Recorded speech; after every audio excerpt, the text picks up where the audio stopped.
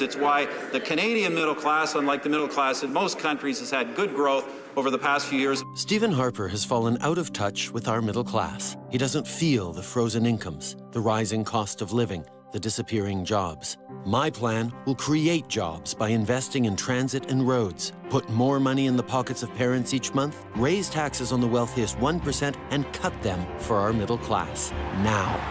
That's real change.